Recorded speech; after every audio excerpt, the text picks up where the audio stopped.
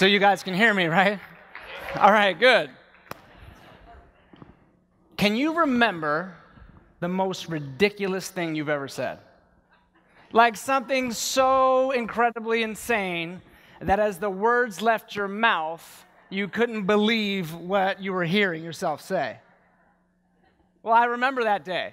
For me, it was two years ago, actually, February of 2014.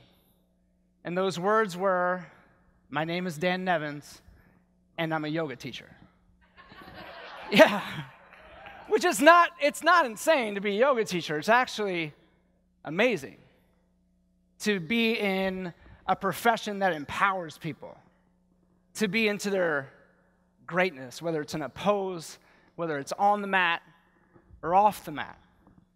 It's great to be in a profession where you can provide tools for people to get back in touch with their breath, to get out of their head and into their body, and to live a life with purpose and meaning and integrity and honor and all those things. So, why was it ridiculous for me to say? Well, that's probably because of who I was the previous 40 years. You know, I grew up back in Baltimore in a not so great neighborhood, and family wasn't something that I resonated with. I didn't really have a lot of love at home, came from a broken family, living without a lot of means. And I remember watching the Gulf War unfold. It's 1991, Desert Shield's happening. And I remember saying, like, that's a family. Everybody wearing the same uniform with the American flag on their shoulder, going to protect our way of life overseas. And I knew I wanted to be a part of it. So I joined. And then the war was over before I even left for training, which is great. Short wars are great. This one, not so short. And I remember I did eight years of active duty, and I loved every single minute of it. I loved the people I got to meet, how I got to serve, but I wanted more. So I left the service, went to college, but stayed in the National Guard because I couldn't give up that uniform, which was an everyday part of who I was. It was the uniform in which I learned to be a man. I learned about values. I learned a lot of things in that uniform, but it was time to move on and so I did, and I got a great job. I was a stockbroker, I was selling pharmaceuticals. Life was amazing. And then, the, then well, 9 11 changed everything. Three years later, I found myself deployed to Iraq. And I was a soldier. I was a leader of other soldiers, and it was a privilege to put on my uniform and lead them in combat. Nine months I spent in combat in Iraq. Until a fateful day, November 10th, 2004, where I was about to head out for a 72 hour dismounted counterinsurgent operation. The Battle of Fallujah was going on, and I was in a place called Balad, Iraq, and there were coordinated assaults ongoing throughout the theater, so we decided to meet the enemy where they were, and that's exactly what we prepared to do. And heading out for that mission, boom! my life was changed forever by an improvised explosive device that detonated beneath my vehicle, took the life of my very good friend, Sergeant First Class Mike Ottolini, who I wear this bracelet for every day to remember the man that he was. What he taught me, not only as a soldier and as a leader, but just as a human being.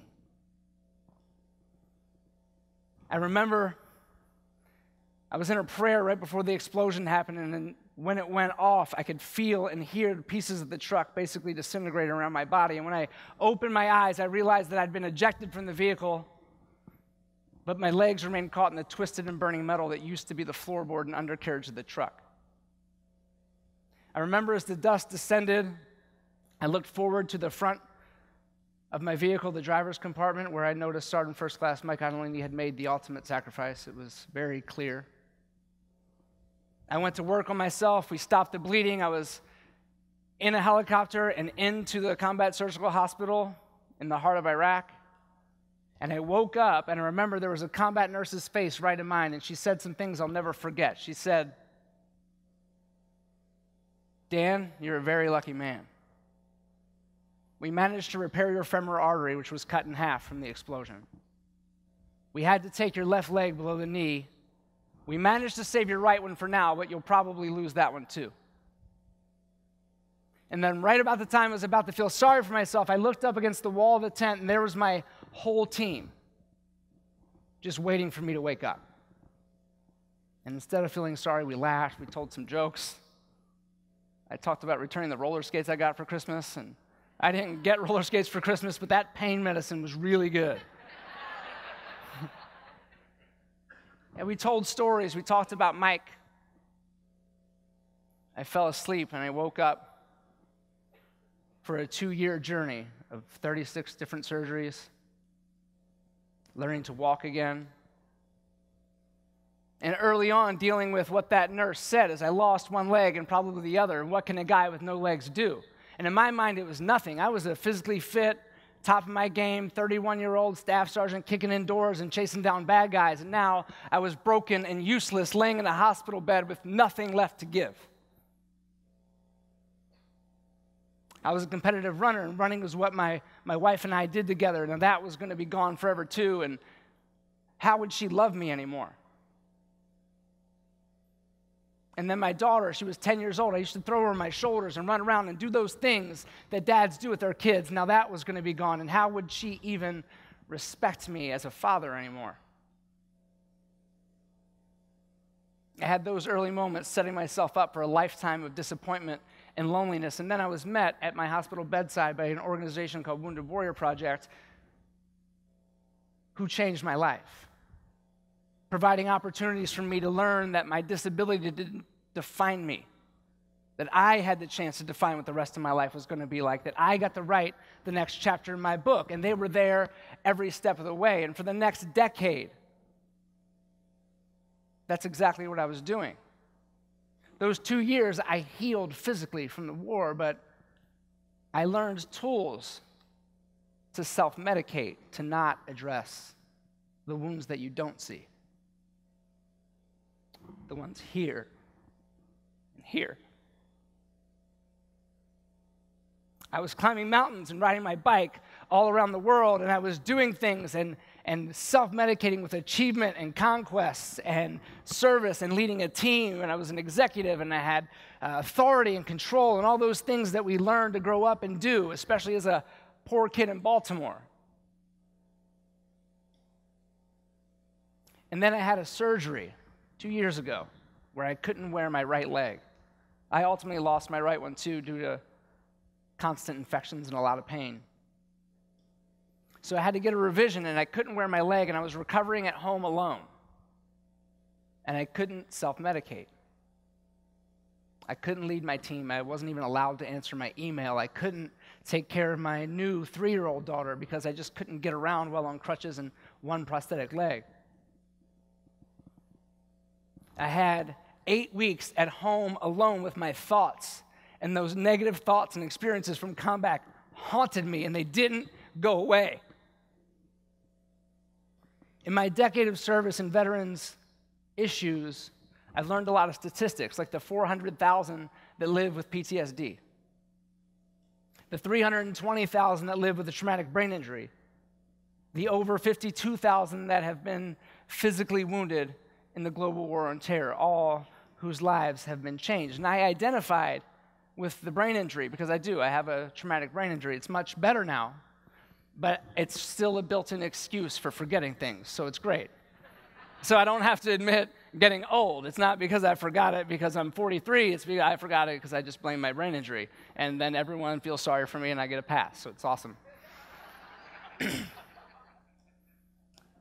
so I, I just remember being in that constant state of why won't this go away? There was the one statistic that I never identified with of all those statistics, and that was 22 veterans take their own lives every day. 22. And I never understood it because I was of the mindset of, hey, why don't you just not do that?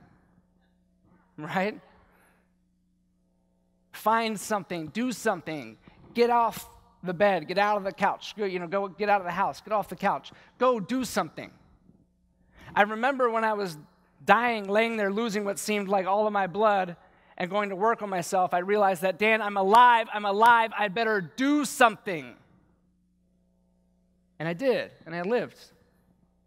And this was no different, but being home alone for eight weeks, I couldn't do anything.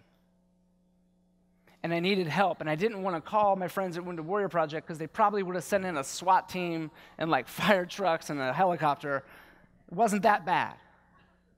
So I called a friend, and she said the dumbest thing I've ever heard a human being say to me Dan, you need some yoga in your life. yeah. and I was like, no, listen, don't be offended because this is who I was, not who I am. And I said, Are you crazy? I'm a dude. right? Like, I own guns and I eat meat. and and I don't own any spandex. I don't have a man bun. I mean, like, I, w- I would if I could. I can't. it's not for me. So she suggested meditation, and I could palate that. And I had instant results. Not only did those negative thoughts go away, but every thought, the quality of every thought improved. And I made the mistake of calling her and saying, Hey, Anna, Thank you so much for introducing me to meditation. I'm having like this great success. And I was telling her about it. And she said, Well, don't you think you owe me some yoga? And I agreed. And I remember going to my first three private lessons. That was my commitment, three private lessons. And I take commitments very seriously. And I remember going to my first lesson with Anna, and it was as miserable as I thought it was going to be. I had two prosthetic legs and I was reaching in these poses and like this is not how I do yoga by the way, but I'm like this is how I was doing yoga and I'm standing there and my prosthetics were digging into my leg and I couldn't get my body in the right position and she was saying things that didn't make any sense like root down and rise up. And I'm like what does that mean root down and rise where am I going? This is not and it was painful, and I was mad at her, and it wasn't okay. And I left that class angry and uh, mad that it wasn't working for me because how could yoga be this hard? It was like taking away my man card twice. One, I was in yoga. Two, I couldn't do it.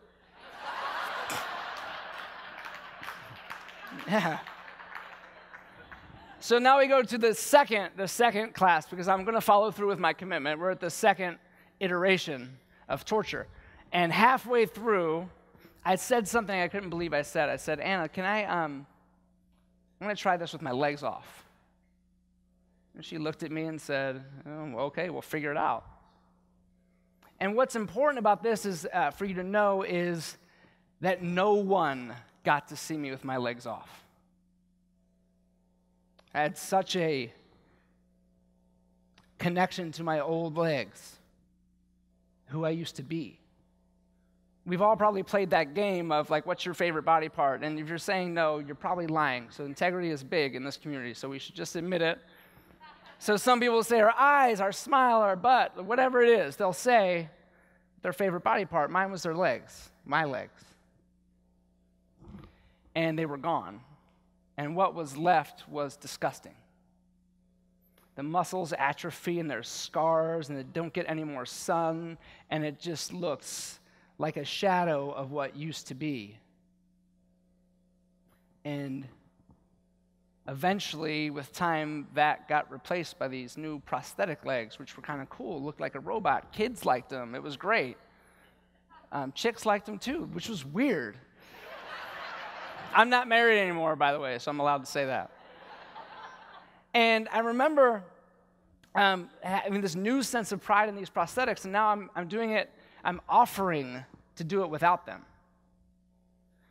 And I remember she's standing behind me, and I'm on my mat, and I'm attempting to get into Virabhadrasana 1, Warrior 1 pose, and I'm just situating. I'm on my knees, and I'm replaying. She's like looking at me, probably figuring out how am I going to teach this guy to do these postures, these poses without legs on. And I remember having this moment. I'm sitting in this posture on my mat, and I and I'm going up into this pose, and I re- remember hearing her say, "Root down, rise up." And I plugged in for the first time in 10 years. And a surge of energy came from the earth into my body and lit me up from the inside out. And I exploded in this posture. And it was the best feeling I've ever had. It was like the earth was saying to me, Where have you been for the last 10 years?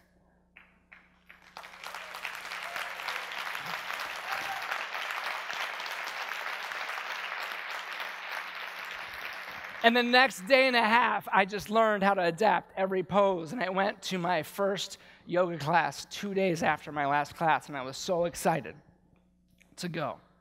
And I walked in and I saw where I was going to put my mat, and there's about 30 people in there, and I hit this wall.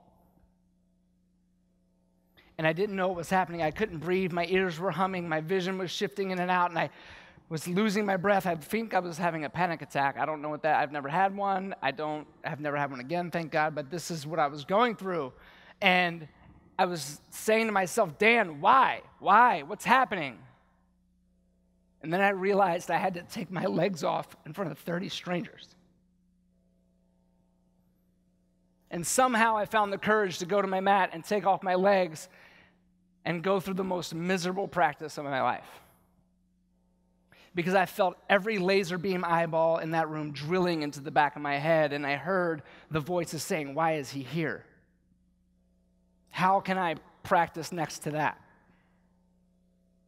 I'm distracted. I'm, I'm in my head now. I'm, I'm not in my practice. All these things that I was learning, and I was the distraction in the room. And as soon as that practice was over, I couldn't get my legs on fast enough. And one by one, people came over, not to tell me how hideous I was, but how inspired they were. A week later, I was in yoga teacher training.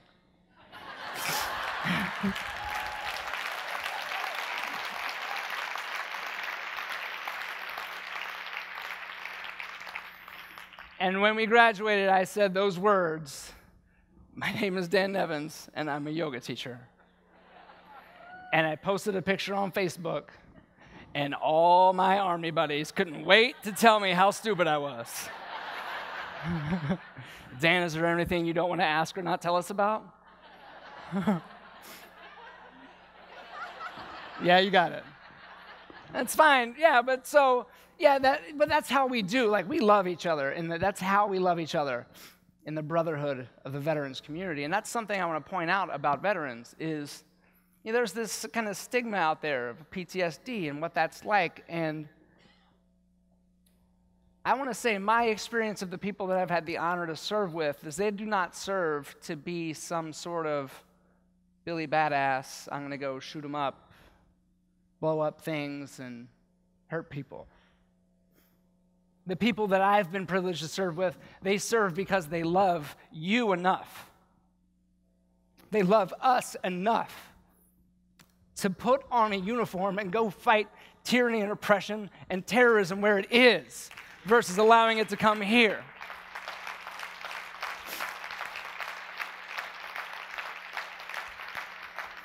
I love the people that I had to serve with, and I love humankind. And I don't want to pick up a weapon. But I will. Because what we get to do here is important. And what I learned through the power of yoga is that I can share what I've learned with people like me. People who don't think yoga is for them. I get the privilege to teach yoga all around the world. And when I teach people who aren't veterans, I have a simple message, and that is invite a veteran to yoga because you just might save their life.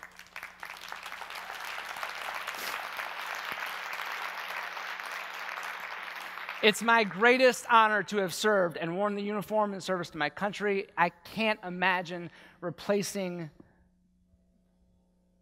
the dignity of what it means to have led others in combat in service to the things that we hold in high regard, that the rest of the world, or some of the world, doesn't. But I can say, as a yoga teacher, this is the most important work I've ever done. And this work changes and saves lives. So, my request for all of you whatever your practice is, your source of wisdom, be it ancient or modern, whatever it is that you do, invite a veteran to be a part of it. Because you may just save their life. Thank you very much.